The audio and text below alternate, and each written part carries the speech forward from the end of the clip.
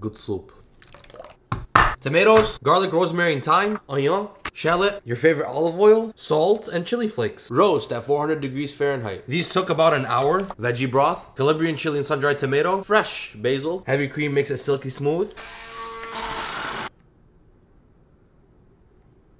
And now we have final product. And as always, now bismillah.